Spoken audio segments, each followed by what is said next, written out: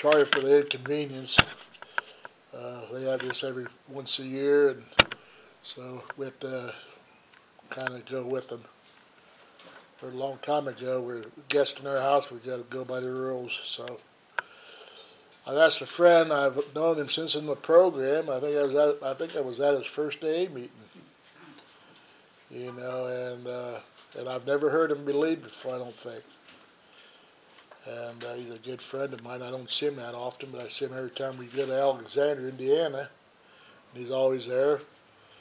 And, uh, without further ado, I'm gonna give my friend Bruce from, you're from Muncie, right, Bruce? Yeah. Right. Gary. God bless you. Uh, Hello, everyone. My name's Bruce. I'm an alcoholic. And um, uh, I don't know if it's an inconvenience, but I'm just glad to be able to be in front of you all to tell a little bit of my story. And um, I hope um, something that I share today will uh, uh, help you out or encourage you to keep coming to AA meetings. Not to, don't don't leave before the miracle happens. Um, I'd like to start out with my sobriety date, January 19th, 1986.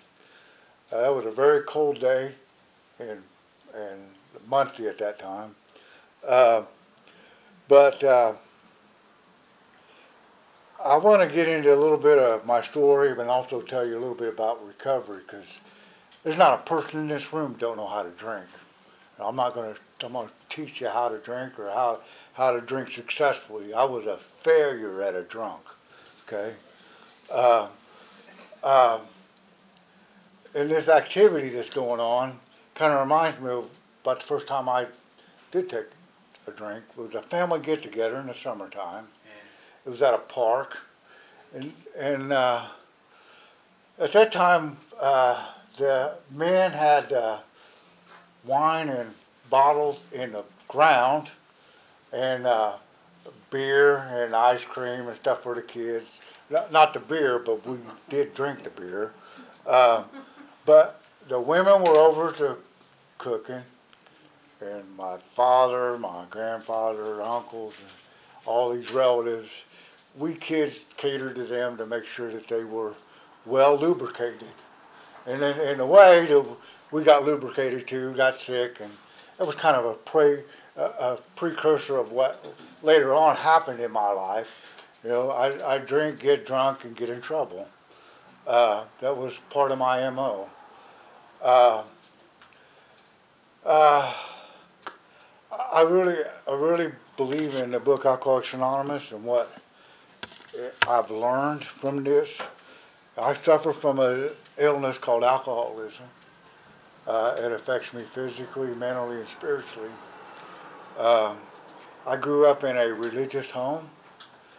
Uh, my my parents did the best they could with what they had. Um, I don't blame anything on them. I had one older brother, one older sister, one younger sister, and four siblings that died early in life. They didn't make it more than a couple months. My mother was a diabetic, um, and uh, she dies of that when I was 11 years old. Uh, what's that got to do with my drinking? Nothing, people. That's just part of my life, okay? Um, uh, and I used that, her, uh, my mother's death, my father didn't remarry. He had went to, uh, he was from a broken home and he made a vow that he was going to raise us uh, without getting married, and he did that. Um, uh, but when my mother passed away, my life changed. And my relationship to what we call God changed a lot. And I kind of used that as uh, excuses or reasons why I did some of the stupid stuff I did. I did. I believed in God. I've always believed in God, but I didn't think He believed in me by the time I got to you people in Alcoholics Anonymous. Uh, I know I'm, I may not look it, but I was uh, I got to this program at the age of 30. So I'm not going to tell you all about all that other stuff, but I will tell you little hi- highlights of the low life. Okay? Uh, uh, through high school, uh, my drinking uh, started out as a weekend thing with some kids, neighborhood kids, and later on it was my dad worked nights, and uh, so I kind of, after my mother passed away, uh, we were pretty much on our own. We didn't have babysitters. We raised ourselves. Um, yeah, one time my my brother got angry with my sister. They was doing the dishes, and she just stabbed him with a fork. You know, so that was, that happens. Okay, we we just do things, but uh, life was different then. Uh, why I uh, my drinking continued. Uh, like I said, basically started out as a weekend thing with my friends and stuff like that. In high school, I got involved in sports. I drank uh, normally uh, any opportunity that I had. Uh, got in a, some trouble with family and, and the school and all that good stuff that we do, but I made it through. Uh, time I'm 17, 18 years old, there's a thing called uh, Vietnam was going on. Uh, my father gave me a choice. Uh, I either go to work, get a job, or join the service. Um, I uh, chose to go to school. Uh, I was not drafted. Uh, it was in the last draft. Uh, I've, I kind of regret that I didn't do that uh, because of what's happened. Uh, my father was a World War II vet and was very adamant. My brother, uh, who could have went but chose not to. Um, so, you know, I, I felt there was some guilt with some of that. Uh, I did go to school. I went to Ball State, which is Fruit Jar Tech. Uh, but to do that, there was one thing that was going on. My mother, when she passed away, it qualified us for aided dependent children as kids. And my father was good enough to not use that money. He put it in bank accounts for us. And by the time I got to school, it was time. I had roughly about a year, enough money for about a year of school. So if I wanted to continue on, I, I needed to get a job. So I got a job. I worked 40 hours a week and I paid my way through school, went to school. I started out as an industrial arts teacher. Uh, ended up changing my major to be uh, in business management. Uh, what's that got to do with my alcoholism? Uh, the gas station I worked for, I worked third shift. The manager happened to drink. And we always had a, we always kept a bottle in the back room. And we were fortunate enough that the liquor store was right next door to the gas station. So he didn't care if you drank it, just make sure it was filled back up the next morning. That was no problem. And uh, there were many times I, I drove to school, 20 miles or so. I'd get off work, go splash water on my face, change over, and head off to college. Uh, but I was, I'm gonna say well oiled. I wasn't drunk in my estimation. I had been drinking, okay? Uh, you know, we get to that, at least for me, you get to that point where you kind of get a buzz on and you just kind of maintain. Uh, that was what was going on, and I'm here. I am. I'm early 20s and and and and early on in my 20s. Uh, got through school and doing all that, and I, I thought, well, you know, I, I got this diploma, and I'm gonna go get a, a job. I got a job in Marion, Indiana, as a supervisor at a, of a, a factory over there. And I was getting pretty good money. I had this belief, you know, at that time, if you know, you know, they give me thirty-five, forty thousand dollars a year, I'd be happy. I was living high on the hog at that time. And um, uh, I got this job. I'm doing this. I'm doing what I'm supposed to do. Working all different kind of shifts with them, and uh, thought I'm doing a real good job. But this is where I started having more trouble. I was at a, I got a little bit too much to drink one evening, and uh, I got thrown in jail for public intoxication, and um, uh, didn't happen to go to work that next morning. Uh, so I shrugged it off. You know, you, know how we get, we kind of justify our actions. I ended up doing that. Ended up going uh, back to work. You know, the next day, got everything was okay, no big deal. So after about eight or nine months later, it's about time for a review of my performance. I go in there with this idea that you know I've done a good job for these people.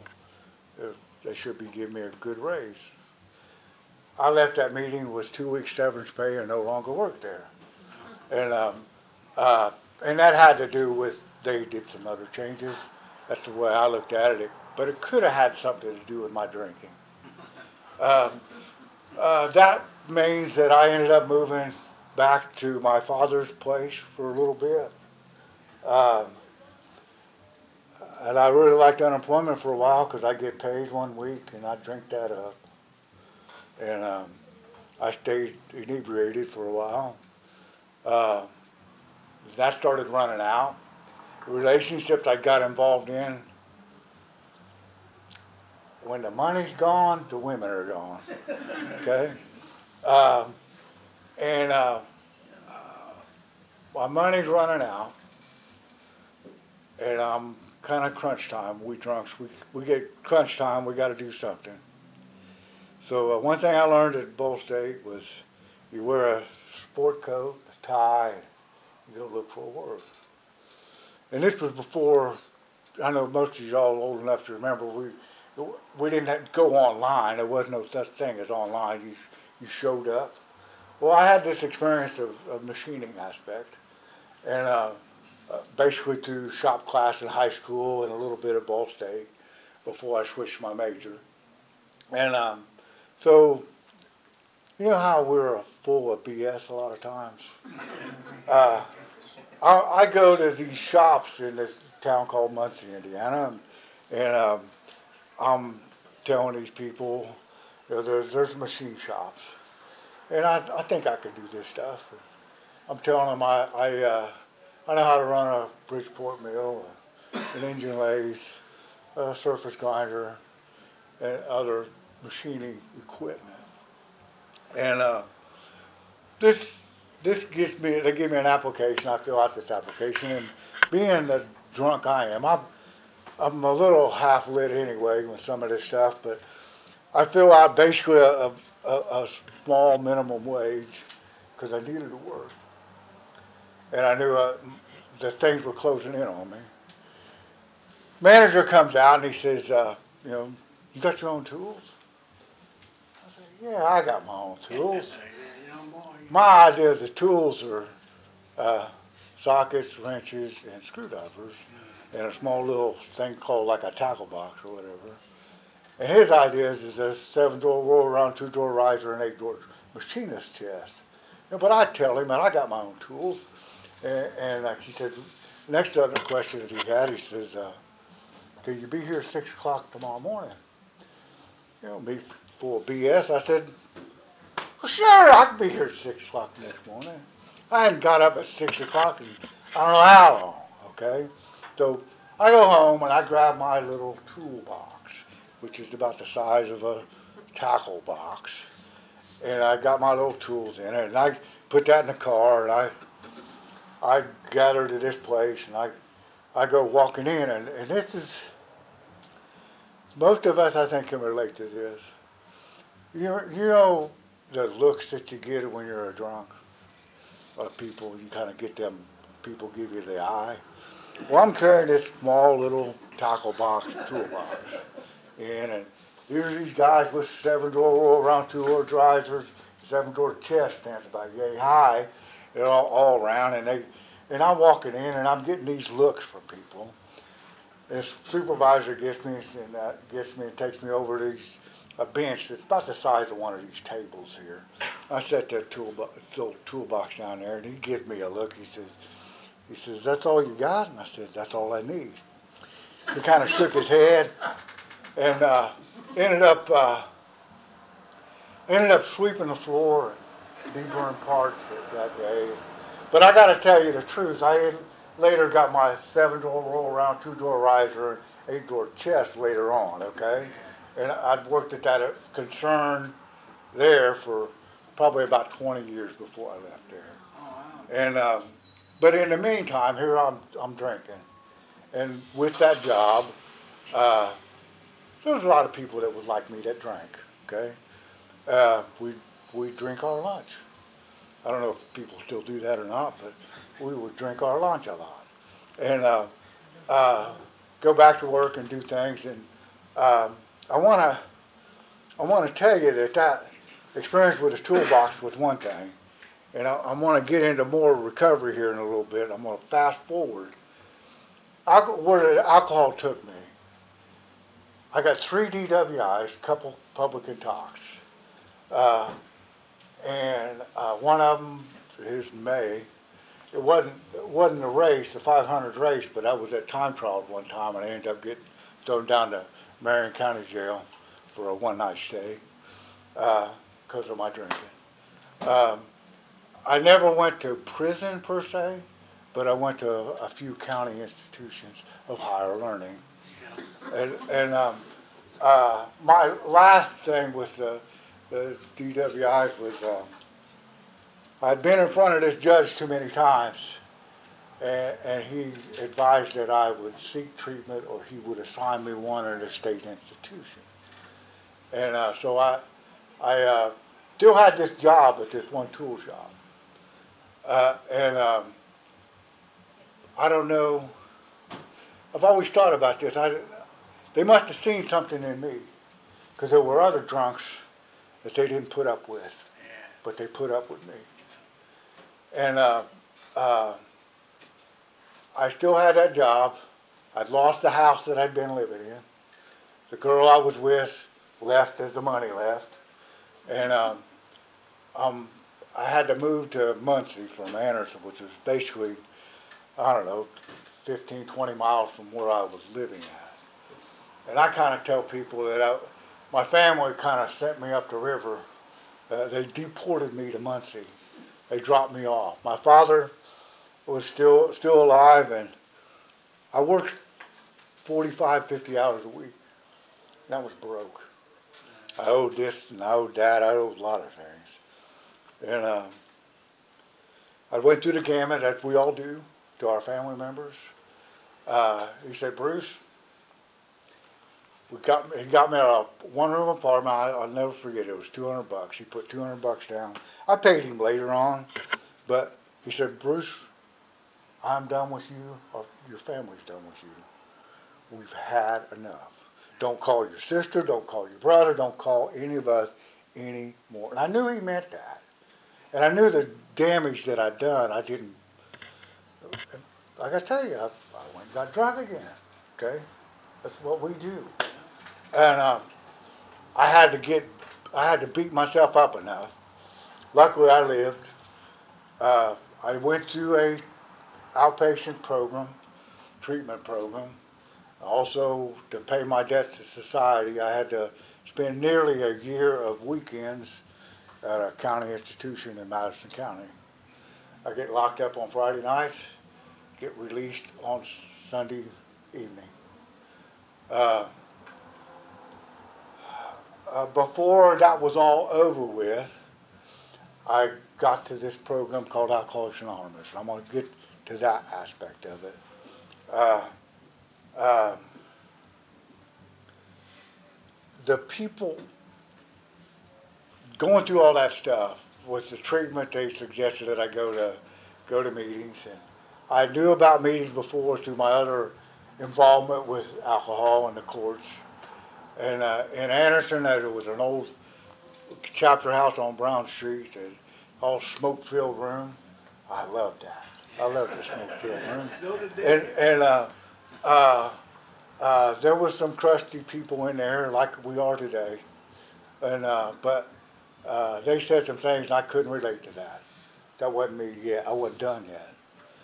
By the time I got to Muncie and, and the, the pit that I was in, in that one room apartment and, and I was not, I had suicidal thoughts, okay? I didn't, I didn't cut myself up or shoot myself or nothing like that, but I had, I, I thought about checking out. I thought, you know, with all my troubles, I'd just grab my vehicle and run to Ohio, run somewhere else, okay? Just escape. And then one of my family members told me something that I'll never forget. He said, Bruce, wherever you go, there you are. You, you, you, you're going to take your problems with you. Okay, that's that's not, I got to change. And I, I, I, I'll say this much, and this was about the time when I made that decision of, of my bottom. You know, I just, God, just take, just take, just take. And I heard this voice. There's no person around. I was in this locked up room, one door, one window, drinking. I heard this voice says, I give you life. Live life. I was, I was kind of shocked. And um, I called the local number in Muncie. Uh, I talked to no, another friend that I knew in Anderson. He said I ought to go to AA, and I, I believed that because I'd been. But I got, called the local number, and it, they called me back. And guys, you know, told me where the meetings was at. Wanted to know if I needed a ride. I was too, I guess, ashamed of where I lived and what I was, how I was. He, he just gave me the address and said, I'll get there. So this is in dead of winter, okay? I walk about two and a half, three miles to where this meeting was at. At that time, I, I gotta give you a little description. I had dark hair at that time, about down to here. I had a mustache. And I walked into this meeting room at the I don't know club, and I had ice on me, and uh, I'm shaking.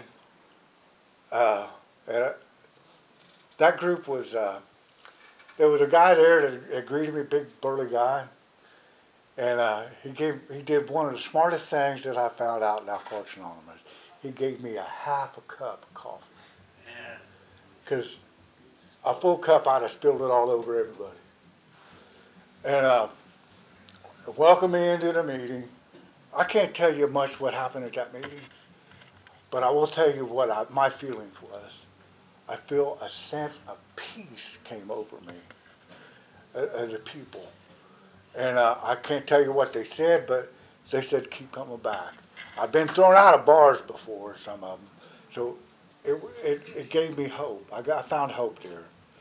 Um, I'm gonna fast forward to you know I later got a sponsor, and I, I want to congratulate this group of, of all the activities that y'all got going on around here, and and staying active. I got involved in an active group. Uh, I got a sponsor, and I'm gonna tell you some hopefully some funny things here. Is that you know when I first got sober, you uh, you hear all kinds of things. I, I that this this disease affects me physically, mentally, and spiritually. In those three areas, the 12 steps work to help change our lives. Well, I'm I'm not having a whole lot of success on money wise, uh, and um, uh, I, I I know my employer would pay for new glasses, and I'm gonna tell I'm back up just a little bit. Back during these times of my DWIs, you know how we do our best thinking and drinking? Yeah. I, I had thought, well, you know, the reason I got picked up was because I was driving left to center and I wasn't, or a tail light was out or something was going on. And I figured it was because I wasn't seeing the road right. And I, you know, and I'm sitting there drinking and I'm thinking, you know what?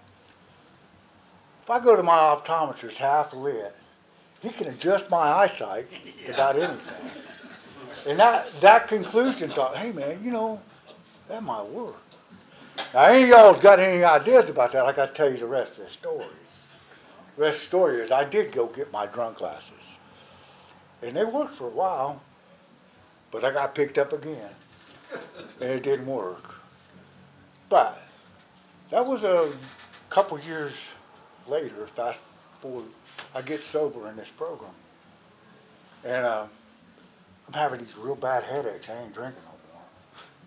Things ain't going right. And I go to this optometrist and he checks my eyeglasses. He says, Mr. Cleaver says, this, these glasses you're wearing are about two times too powerful than what you really need. I thought, wow, this sober thing must be doing good for me. Uh, but that's how stupid I am, okay?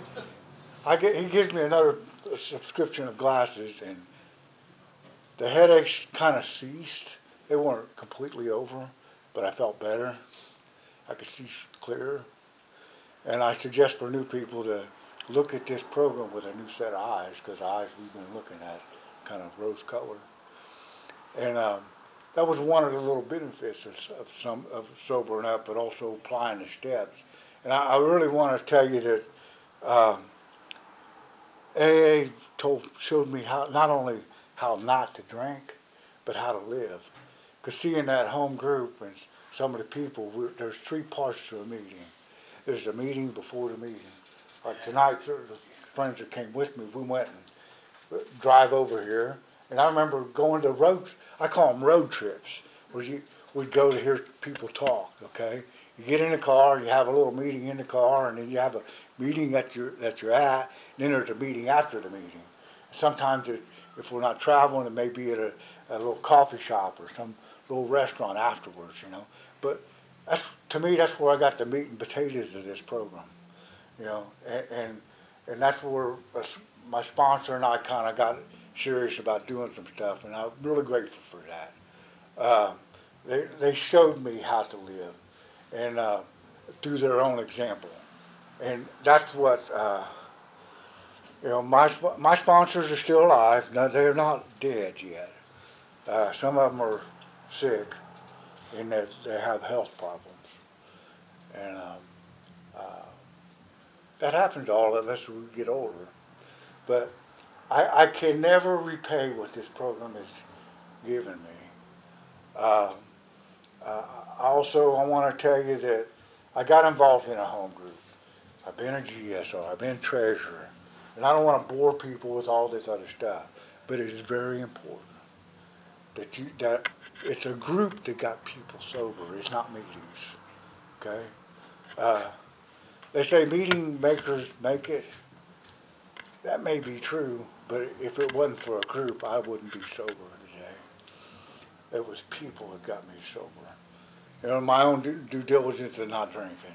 But I had, you know, we had activities that uh, I was younger then, and I could do a lot of other things. You know, we used to spend like on a Saturday, we'd, we'd rent out a hall for play basketball or volleyball. A group of us go do stuff, and um, we kind of hung around together and do things. And I got involved with some other people, and um, uh, I want to. I won't take too much time, but I want to get into uh, some of the service aspect, if, if I can. Is uh, the most important thing is a home group, because that's that's that's where everything's really at. Uh, all this other stuff is down. I truly believe in the inverted triangle, because I've been there. Uh, the groups are, are been good. I got involved in the local intergroup, and then I got involved with our local area, and uh, uh, did a lot of things with that. And, uh, uh, Gary, you know, I think I got to say this. I think some of this goes back to Sister Ruth, that it, where, where we met, and uh, going around and, and listening to people, and some of these uh, get-togethers, anniversaries, and banquets been at. Um, those that was a lot of fun times at, at, with people, and um, uh, I, I got involved in the in the area, but probably around ni- 2000, a little after 2000, probably uh, three or 2004. I kind of got this bug called archives in history, and because some of the people in my local community were getting a lot older, the older members were getting older and dying off, and um, I started interviewing and talking with them. I think I think that's important to to us, and it, it was real helpful. Uh, I heard some really neat stories. You know, I, I never will never forget. They touched my they touched my soul, and uh, uh, I got involved with a lot of that. And I that was uh, my recovery today is I got involved with the archives as local in the in the area, and then they end up uh, asking me to. My sponsors asked me to uh, make myself if I would make myself available for some area service positions. And I asked him, am, am I worthy of that? I don't think I could do that. He said, all we're asking is, can you make yourself available and do you have the time? Well, at the time, I, uh, uh, I've not been real good at my relationships in life, and um, I'll, I'll admit that. But uh, uh, my family and, and, and things like that, what's going on, were things are got a, lot better since Bruce got sober. Uh, I, I was able to be around my father probably almost 16, 17 years before he passed. And I was grateful I was to be there to, to help him in his in those last uh, years of his life. And we were we were pretty close. Um, and I, I also realize now that, like he, he, a lot of his friends were dying off, and all all I got, all he had left was us, us kids, pretty much, because his most of his friends had passed away. So it was good to, it's good to spend time with them. But I got to tell you a funny story. I, I got sober and I bought a house and uh, had my own place, and my sponsor felt like. Uh, uh, you know, I'm finally getting ahead of life a little bit. And he's, I had a sleeping bag, and he got that sleeping bag out, and there was nothing in this house. I finished, I, bought the house, finalized everything, didn't have no furniture in it. I got this sleeping bag, and he lays this, my sponsor lays this uh, sleeping bag in a, in a bedroom and says, this is where you're sleeping tonight. So I, I slept there, and, uh, and then he ended up, uh, ended up acquiring things, got things and stuff like that later on. But I want to tell you about my father. You know, he I paid him back later on. Thank you. Uh, I paid him back what I owed him. I probably uh, not only for the two hundred dollars he put down, but a lot of other things that he helped me with later on. But um, when I was um, I was working nights, and my dad was retired and uh, he would do things like he'd come over and he'd start fixing this and he'd start fixing that. And uh, next thing you know is, well, Bruce, I, I need a hundred dollars here and I need a hundred dollars here. And he started doing things. And I appreciate, I really appreciated that. He's, I, you know, and finally I got to a point I had to pay some other bills and stuff like that. I said, Dad, you know, I appreciate what you're doing, and, but you know, uh, I'm really kind of short right now. But can can, can you hold off on this? He said, no. This, this is this is what this is what it is. He says, well, why is that, Dad? Why, why you? Says, well, this is the payback, son. When when when you kids were growing up, you cost me money. Okay, I'm just I'm just I'm just paying back a little bit. You know, so I can laugh about these things today. You know, and and, and because uh, God bless him, and, and and you know, I know he's long gone now, but. Um, uh, his examples and his helpful and, and, humor is the best one of the best things in, in my recovery today is we need to laugh. And because we could cry all the other stuff that's been going on but I know the it's getting close to that time and I, I want to get into what I what I've done is uh, I've been sober because of this program Alcoholics Anonymous, a sponsor, and a home group. My home group today is actually in Anderson, Indiana, and my service sponsor is part of that group. Uh, and he was, I'm going to blame him, uh, and telling me to uh, make myself available for service positions in the area. And it gave me an opportunity to, to not only be with the archives committee doing a lot of that stuff, but I, I ended up being an alternate uh, delegate for two years and ended up being a delegate after that. And I feel privileged and grateful to you people uh, to have that privilege to represent Northern Indiana uh, as as uh, as their delegate for two years. And um, uh, your delegate, John C., was a delegate at the time when I was a delegate, and uh, uh, we happen to be on the same committee as uh, CPC, Cooperation with Professional Community. He was uh, uh, he was on that committee, same with me.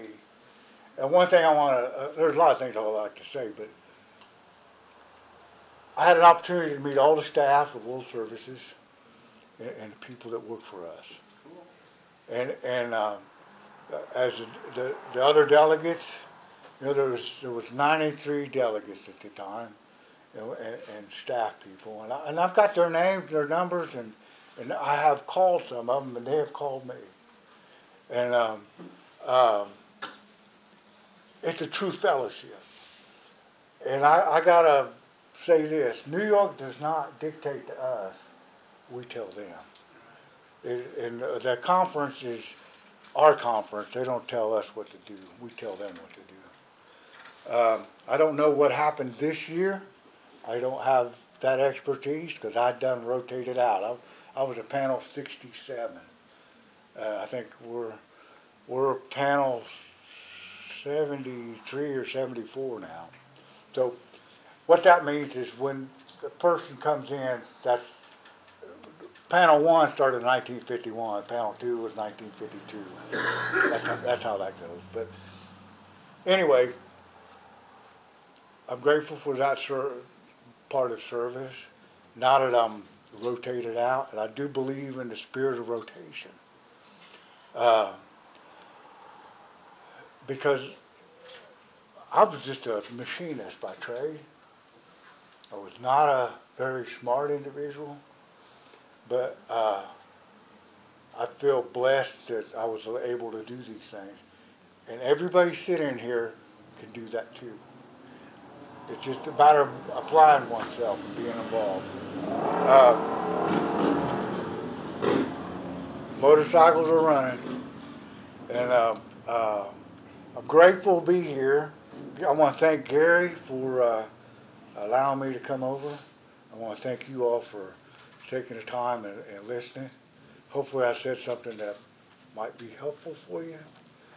Uh, but with that, I do believe in this book called Alcoholics Anonymous. As a 12 steps, I like the readings that you had. Not only the daily reflections, the 24 hour book, all, all this stuff is, is important. I didn't say much on the steps today. I figured you need to get with your sponsor and, and your home group and learn a lot about that. Cause, uh, but it's all right here in this book. Um, it helped save my life and I'm truly grateful. With that, I will be quiet.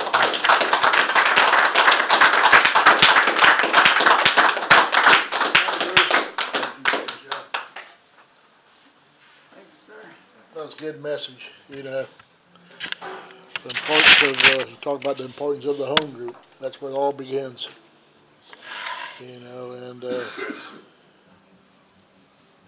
that's, you know, talk about those road trips. I mean, that- when I first got sober, I mean, we used to do, travel a lot of places. You know, we had fun outside the rooms of AA. That was what it was all about, you know, we brought some back memories, you know, and we lost a good guy, Bob from Archives, he just passed away, you know. Yeah, people live and they die and they, you know, and we rotate. Okay. Uh, it's customary here to pass around, or we'll just open up for comments. call. Hey, Dwayne. Yeah, Gary told me Bruce was giving the lead, and we see him at Anderson all the time, I'm like, Bruce, God dang, I couldn't place him, now I see him, I'm like, oh, hell yeah, I've seen him many times at Anderson.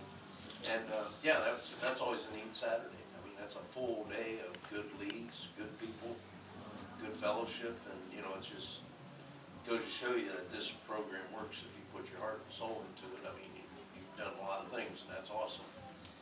I'm kinda not been in- into all that stuff yet, but maybe I will someday, but, um, you know, I really appreciate what you have done, and, uh, coming all the way from Anderson, Indiana, or Muncie, or wherever still, that's a pretty good jump. But you had friends come along, like you said, you had a meeting on the way here, gave a hell of a lead, now you're gonna have a meeting on the way home, so, thanks for coming and sharing, Bruce, appreciate it, thank you. Thank you. Tom Alcoholic. Hey, Tom. I wanna thank you, Bruce. Um, I enjoyed listening to your lead, it was, it was, uh, it was cool. Uh, I just enjoy listening to it, I listened to it several more times than I. Thank you. That's all. Greg Alcoholic. Hey, Greg. I, uh, I don't know much about Anderson. I, uh, used to be field trial Beagles. There was a guy over there, he had a stud named, uh, uh, Tonto something. He was expensive, two hundred dollars breeding fee, this is forty years ago. And I had three of the prettiest pups out of him, and not one of them could find a rabbit if their ass. But they were pretty. Uh, thanks for Lee coming over here. Uh, I'm glad you and your dad got back. That's a tough one. And, uh, I'm sure that we, we picked up something. You know, you say it happiness, humor, keeps you going. Yeah. Tell you what I'll do, I'll make you a deal here. We'll give you Dwayne. You let him go with you, and I'll tell you what, if you don't laugh at him ten times a day, there's gonna be something wrong. Thank you, Bruce, glad you came. Thank you. Yeah, It's all right, buddy. Buddy, I'll take you out back and give you a cheeseburger. I'm Kevin, I'm not. Kevin. Thanks, Bruce. Good lead. It's good to see you, you know. I hadn't seen you for quite some time and seen you a few weeks ago over at Anderson and, uh, yeah, and, and I remember, I, I think first time I probably ever met you, I, I used to go down to Winchester on Tuesday night once in a while. And, uh, you know, and I, uh, met you over there, but I hadn't seen you, so, uh, I, it was good to see you over in Anderson, it was good to be here tonight, I'm glad I made it over here tonight and listen to you, so. Thanks for coming over, have a safe trip back home, and, uh, um, yeah, just thanks for what you do. Thank you. I'm Don, I'm an alcoholic. Hey, alcoholic. Donnie. Bruce, over, I've met you several times down in Anderson. I've met you at a couple of meetings down there because I went for the race every year, so. Um, first time I've heard your lead though, and I really enjoyed it. And you, you touch on a lot of things of my life, man, that I've been through, you know, with the whole high school and then getting that choice whether to go to, go to work or college or go, go to, go to the army. Well, I got that choice. My dad asked me, did you want to go to college? And I said no, and he said, let me take you to lunch, and he dropped me off at the Army recruiting station. told, told me to tell him I wanted to leave today. and I ended up leaving that weekend, going into the Army, so. but, That's where we started falling apart, Kevin. yeah, Yeah. but I enjoy the part of the fellowship of the program of Alcoholics Anonymous, and I love hearing that. That's the most important part of this, is this is a learning process, and we learn every day, every day, and every meeting. If you don't take something from a meeting, you learn something. I learn something every day. I, I know that the fellowship of Alcoholics Anonymous saved my life. And a friend of mine in the program told me once, you wanna be an old timer in this program, it's real easy, don't drink and don't die. And it's most important you said about keep coming back and keep coming to the program. Well, that's the most important thing. You gotta keep coming back. The minute you stop, things get bad. And that's something I just don't wanna do. I don't get to much as I want to now, but I know when I need to be here, I'm here. And I would love to be more involved in the program than I am right now, but I have a lady at home that needs my help a lot more at this moment. But my staying sober is still my number one thing. And I tell her that all the time, that my sobriety still comes first. And that, that has to. If I get up every morning and I wanna stay sober more than I wanna get drunk, then I'm good. If I get up a morning and I wanna get drunk more than I gotta get sober, I'm in big trouble. So I thank you for coming over here. I hope to hear you again, Bruce. Thank you. Thanks, Tom. Thanks, Tom. You know, I'm Tom, alcoholic again.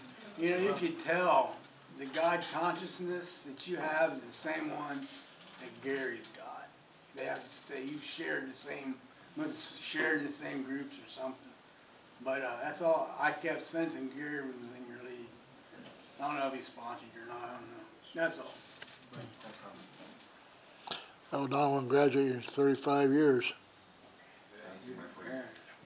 I remember you, remember your thing you always said, I made a choice when I got out of prison.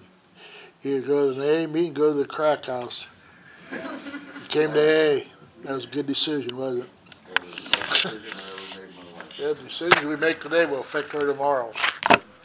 Rooms are nicer too. Yeah. Hi, I'm Mary. and I'm Hi, Mary. Hi, Mary. Hi, everybody.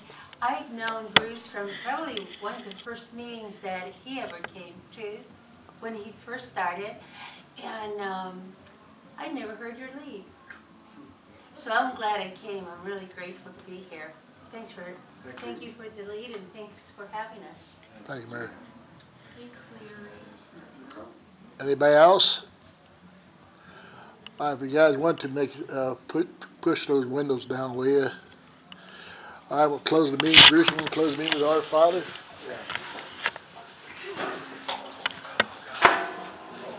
I know, but we're getting old. We're getting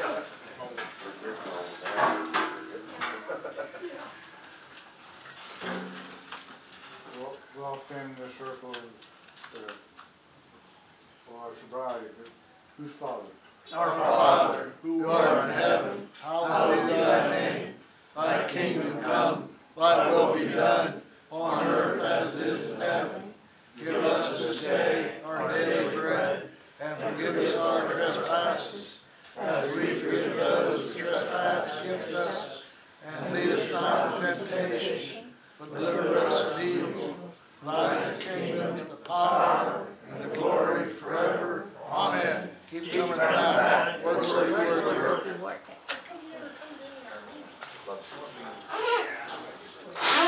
Good job there, Bruce. Thank you, Jerry. You accomplished it. God bless you too. No, I helped them with what they had in the district, and, uh, I tried to help identify, they got a new book. I'm helping them out. Catch up oh. again Oh. one of these days. I need to write it down or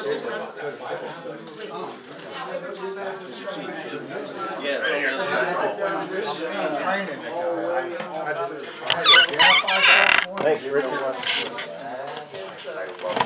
What you been doing, Andrew? Yeah, they, they, Well, I'm sitting Friday, I went to Plain City and stayed there till Sunday night. some of their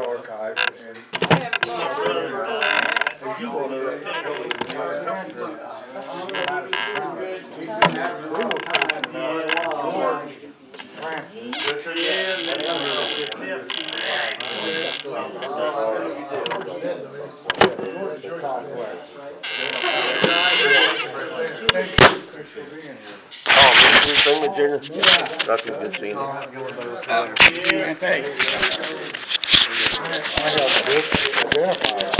Well, I'm asking him at, before the meeting and then I'll record the meeting. But when I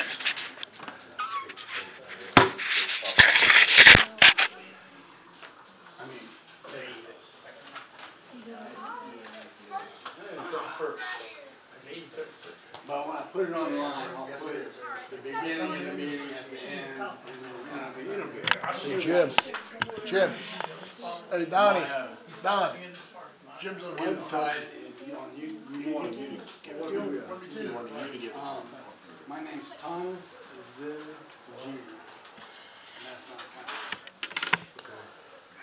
If you need me to write it down later, I'll write it down. But you're in there, you know, you're- He'll have all that. Yeah, I mean, Paper, sign my paper for me? I'm good, I don't need any coffee right now. Need Wednesday and Thursday. Oh, we didn't ask him if he wanted any I coffee. done grew up fun. No, I don't need But he was sarcastic about it. Oh, oh, oh. You were sarcastic about I live in Indiana now. it. You said, oh, I'm good, I don't need any coffee. Stay with my sister. It went downhill, He didn't it? was sarcastic. Went downhill, went Ask to him if Indiana. I Standing wanted- on fire. I'm glad to be here. Okay, we're glad you made it, and uh, I need Wednesday and Thursday. Yeah, there's, there's some road people. He brought the, he brought the crew. the posse, David is my. and you got, Sorry. you Tom, got Tom, eleven nice to minutes to Tom. spare. I, I know they're busy, but I should have been, I I told them I would be here at seven. Okay, but you came a long way. I always like to be a- ahead of schedule. Well, that's why we don't get along. Yeah. Glad you're here. Page thirty-first. Oh, One time. Uh, She does once in a while. Like, Y'all don't live too far. yeah. I live in Sidney. Thought I'm- it. Thursday, Zoom. But, uh, yeah. And I like, If you like driving. it's, isn't like an I've been to excitement, Defiance a couple times. Round up. That's the way, it like I was at. What date was that? Good? I been doing years. Yeah, it was, She uh, just it's said probably out the door, do you have a before the pandemic. Oh, yeah, yeah, mine too. I got to take this to the recycling bin, this is the back door lock, you know, and like, Meg all right? in here, I was Oh, like, yeah, I'm doing good. the north side, Anderson. Retired, enjoying life, and grateful, I wanna grateful of everybody. I thought if I left Be at doing something. I'd be okay, but I left at ten till four, and I pulled into her bar. Do Did you, get COVID? No, I did not get COVID, but I lived through it. Yeah, I did. I had COVID. I never went back. Now, I know other people, I have people, that- my sponsor had it, and some other people. Wednesday? Yeah. I, I went and got the shots and all that. good stuff. Yeah, and then he bitches because he has lot of people though. That kind of put a number on of things, especially things went to. Wrong in it. Took a while for us to get back to, get, get things back to face to face. That's a hard thing in my. Yeah, you and me both. I've made a trip all the way around the island three times. I'm at Chef Brown. She was, Glad- yeah, what do you do? Somebody sitting next to you. This here's, this here's Brad, you remember him, he was in the hospital. We went to visit him. How you doing? Good, you right? Yes. This is great. Over, over, over, over, Ryan Lake. Donnie. Andrew. Well, I got through reading seven, Yeah, but I had. She's a nice lady, she likes me.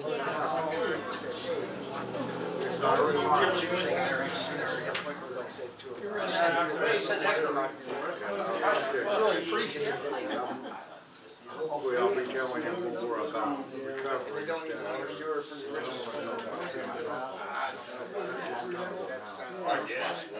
There's not a person in here don't know to drink. Everyone, Yeah, I will, and like she will, as soon as possible.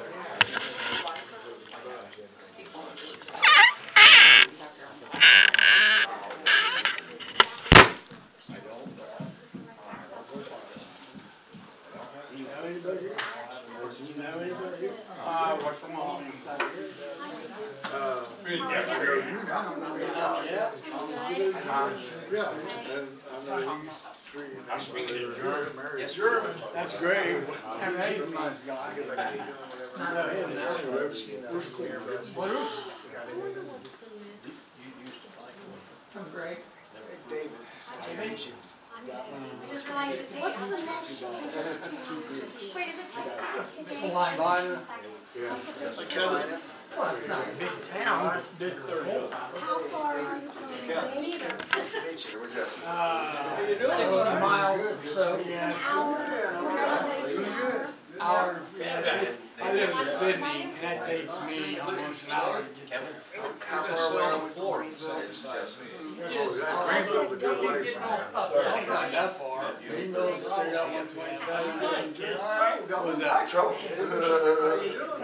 It's not that far. I can get there. in less than an hour. Bruce has had green bills, green bill. We were, I, I, we were talking May right on the way here. Oh, I have, he has, she has not. Good stuff. I went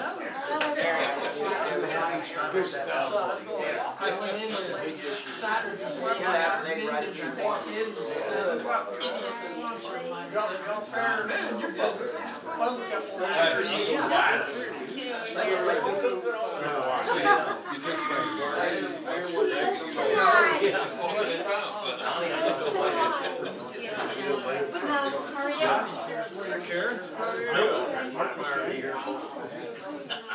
You up. Karen? From Muncie. Oh, any license here with us. Speakers. Yeah, the hell you. thank you.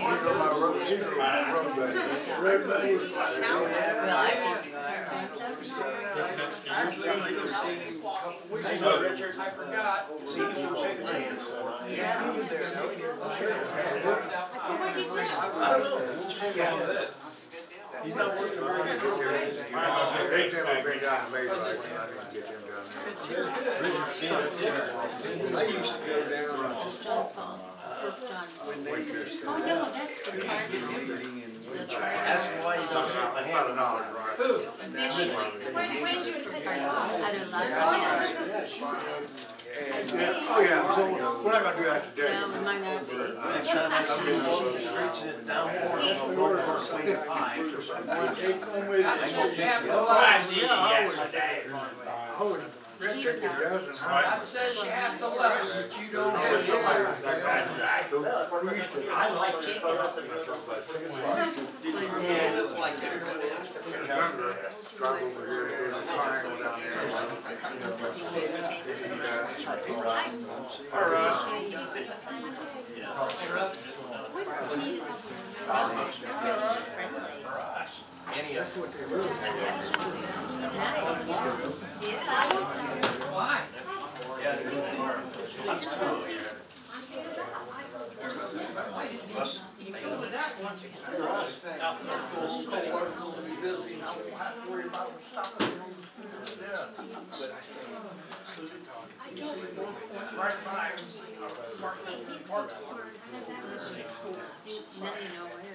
I see you over there.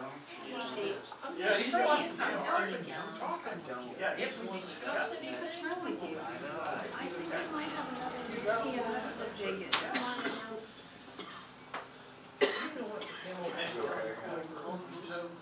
I just have a coffee every once in a while.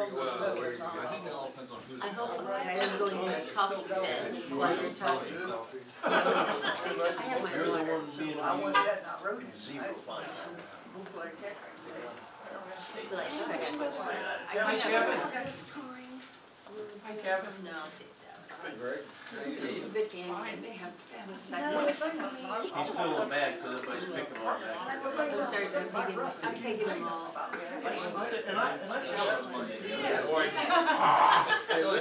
Did you go and play golf this week? Yeah, I lied. Uh, actually, I just went to the balls again. Oh my God, no, You got no. two of them. Nice work. Usually don't. Oh, it's not sticky. No, it's dry. I would choose this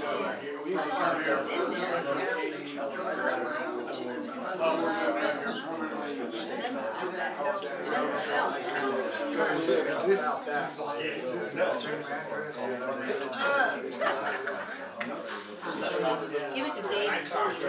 Well, you walk up and you say,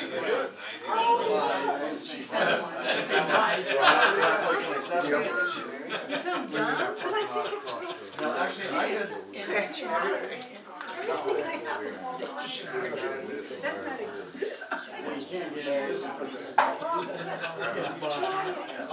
no, I, It uh. was in my I don't want to try Say it. See, some? see if it's used if it's sticky. only salesman. I could have that.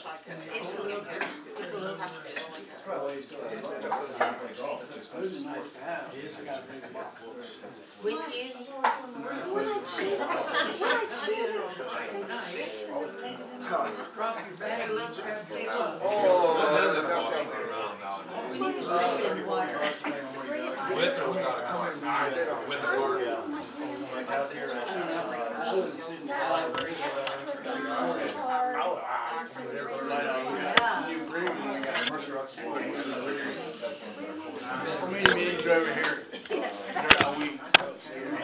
Well, this, in our count, in our district, seven in Coldwater, two in Coldwater and three in Celina. Oh. Yeah, Where's the Tuesday meeting at? Where's the Tuesday meeting at? Uh, Briarwood. Yeah,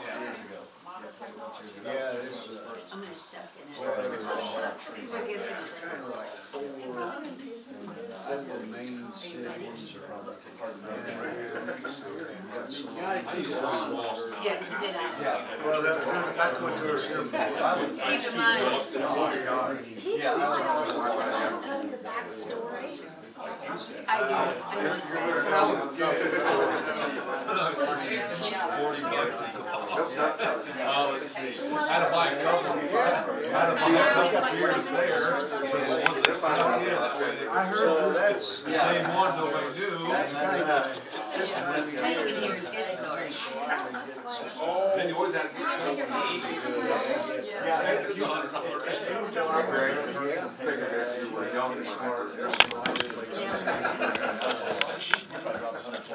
That's what, that's what. yeah, luckily right now, uh, Lake's pretty good. Easy going, Every easy. once in a while. Easy, don't stir the fast down. Chris looks like he's struggling. When the spring, when you get spring rains, and then do you let the water out, We got a bunch of rain and it's there, so right now.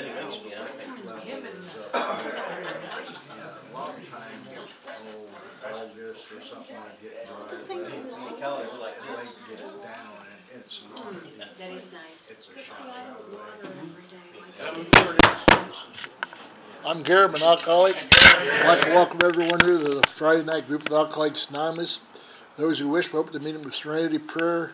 God, grant me serenity to accept the things I cannot change, courage to change the things I can, the wisdom to know the difference. Alright, if you're interested in a, in a home group, uh, we invite people to join us. Who's a who's a member of our group here? Yep. All right. Uh, I've asked my friend Richard to read the preamble. Hey, Richard. Richard share their experience and solve the and others to care from. The unrequired membership is that there are no dues for, for, eh, eh, no dues fee, or fees for AA membership. We're self-supporting here in Clinton Beauty. AA is not allied with any sect, denomination, party, or religious institutions. Does not wish to engage in any controversy. Neither endorse it, neither endorses or nor opposes any causes. Our primary purpose is to stay sober and help other alcoholics achieve sobriety. Hey, Richard. Well, that's my friend Tom to read how it works. I'm Tom, alcoholic. Tom. It works. Rarely we've seen a person fail who has thoroughly followed our path. Those who do not recover are people who cannot or will not completely get themselves to this simple program. Usually men and women who are constitutionally capable and honest with themselves. They are such unfortunate and not a fault.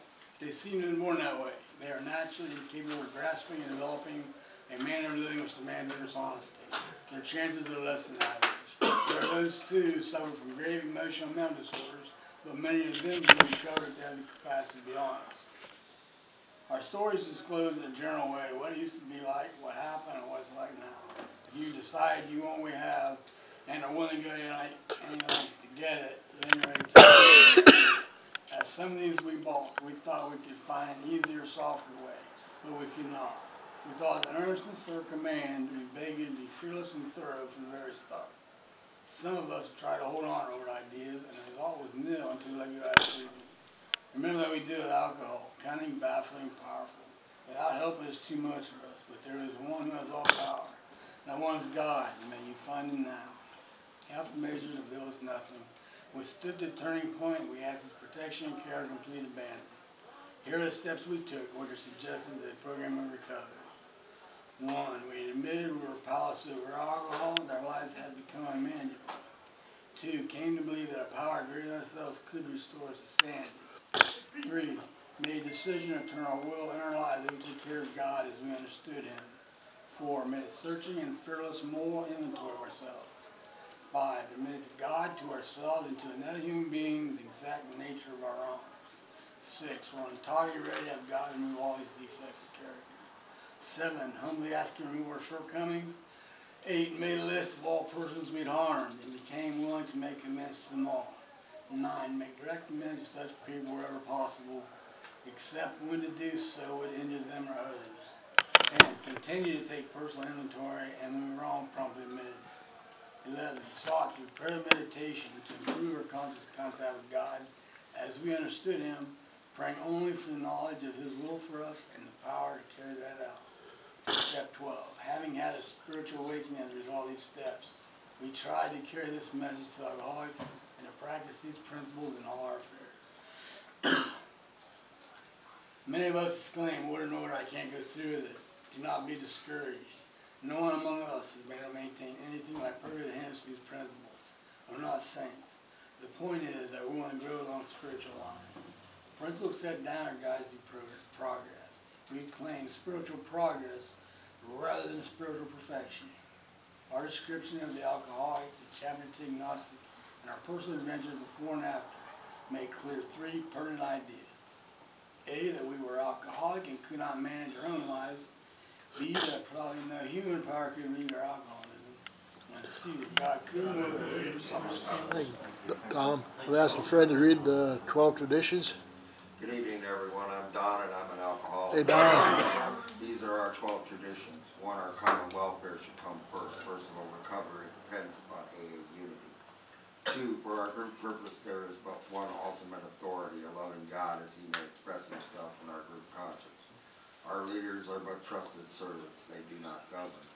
Three, the only requirement for AA membership is the desire to stop drinking.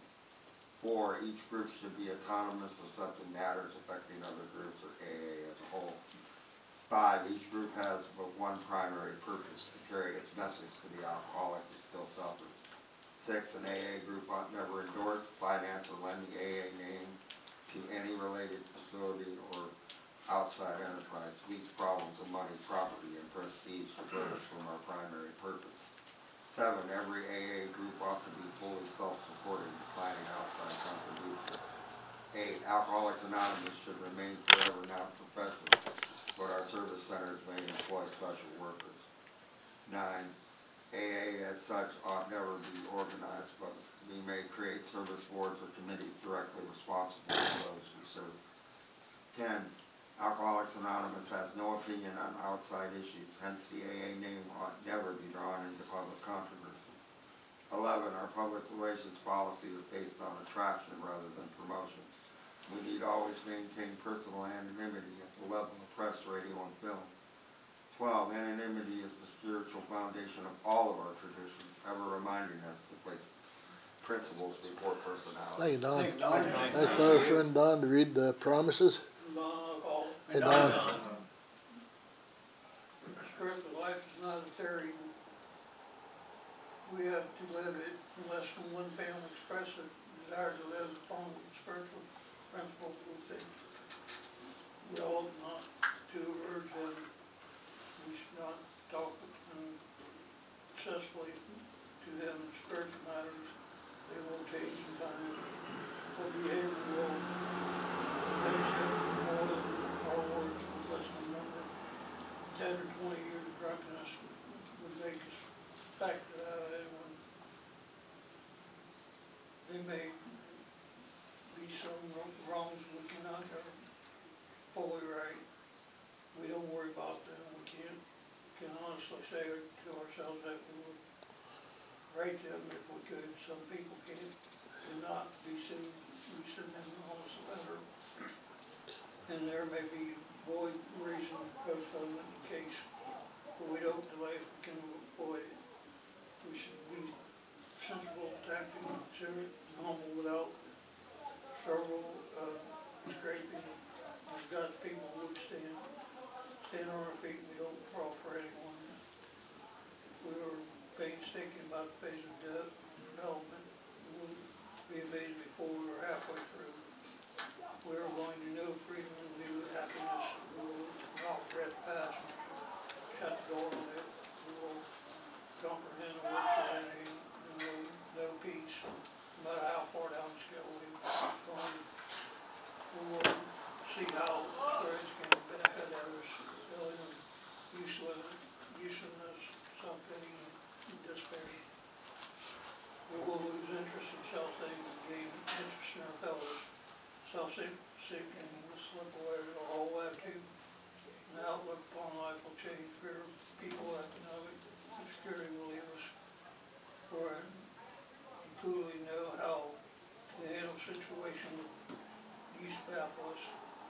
We'll suddenly realize that, that God is doing for us what we could not do for ourselves. There are extravagant promises. No, I think not. They are being fulfilled among us sometimes quickly, sometimes slowly. They were, they were always till we work for them. Thanks, Don. That's my friend Karen to read the reflections. Karen, I'm not calling. Karen. May thirty-first, readiness to serve others. Our society has concluded that it has got one prime mission, to carry the AA message to those who do, who don't know there's a way out. The twelve steps and twelve traditions, page one fifty-one. The light to freedom shines bright on my fellow alcoholics as each one of us challenges the other to grow. The steps to self-improvement have small beginnings, but each step builds the ladder out of the pit of despair to new hope. Honesty becomes my tool to unfurl the chains which bound me. A sponsor who is a caring listener can help me to truly hear the message guiding me to freedom. I ask God for the courage to live in such a way that the fellowship may be a testimony to his favor. This mission frees me to share my gifts of wellness through a spirit of readiness to serve others. Hey, Karen. Best friend Andrew read the twenty-four hour book. I'm Andrew, recovering young. Andrew. May the thirty-first, thought for the day. I shall not want, wait to be drafted for service to AA. I shall volunteer, I shall be loyal in my attendance, generous in my giving, kind in my criticism, critical in my suggestion, loving in my attitude, I shall give to AA my interest, my enthusiasm, my devotion, and most myself. Do I also accept this as my AA career?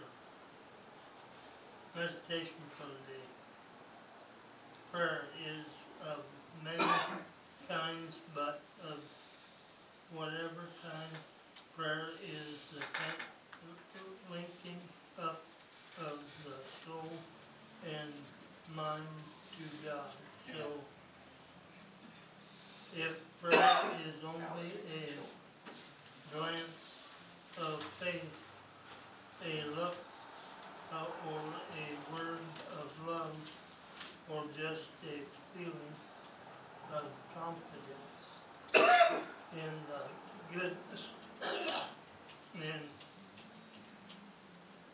purpose in the universe, still the result of that prayer is added strength to meet, meet all temptations and to overcome them. Even if no su-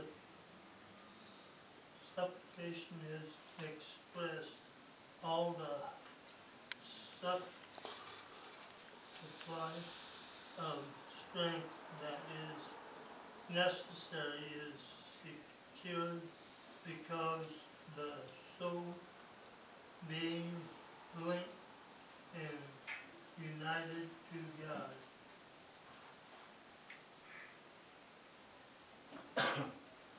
Receives. receives from him all spiritual help needed.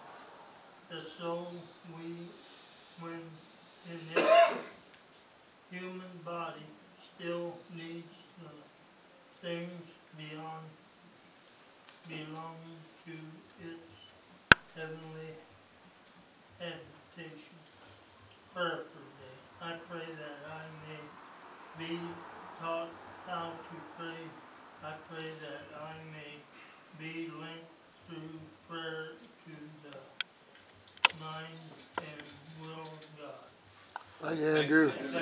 Here in the co we have the token system. We ask my friend Jim to give out tokens. Good evening, everyone. My name is Jim. I am an alcoholic. Hey, Jim. Here at Coldwater, we have tokens to uh, celebrate different periods of sobriety. Is there, beginning with the, what we call the starter token. So is there anybody here for their first meeting or their first meeting since their last drink? Do we have uh, anyone here celebrating one through six months?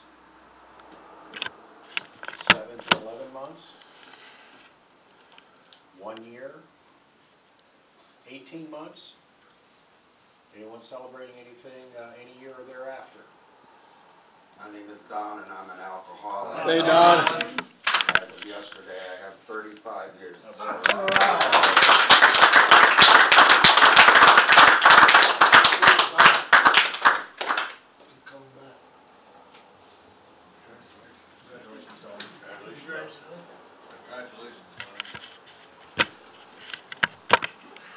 All right, we have the seventh tradition. We're self-supporting with your own contribution, so the basket we passed. Uh, as far as announcements,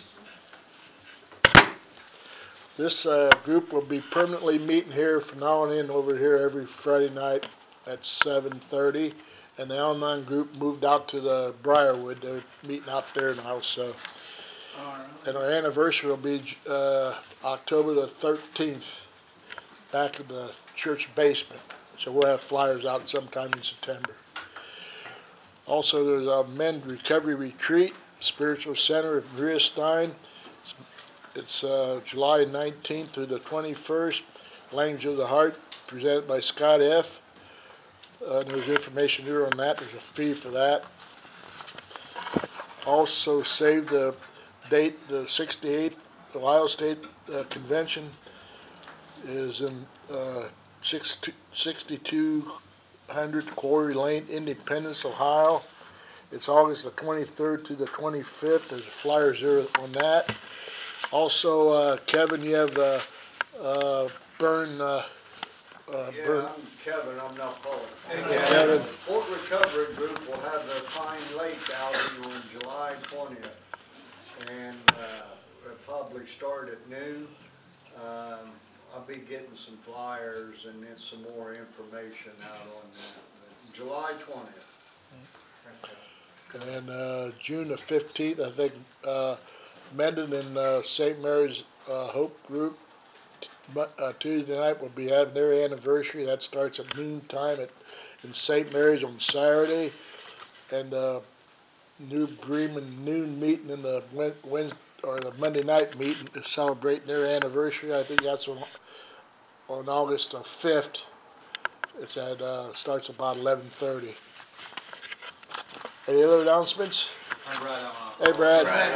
The Lima Noon Thirty Group Annual Fish Price tomorrow, June eleventh, from, at eleven AM at fourteen forty West Spring Street at the LAC NIP Community Center. With the twelve and twelve study meeting at twelve thirty, bring a newcomer and some food to share.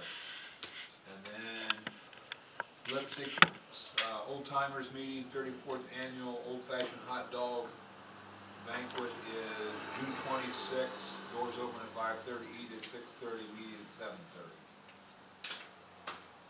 And I don't know if you announced the district meeting this Sunday, Yeah, is this Sunday? Yes. 1:15 at Bez Alston's. Bez House. That's for, that's GSR's, alternate GSR's, anybody that's interested in service work. All right? Any other announcements? All right, uh.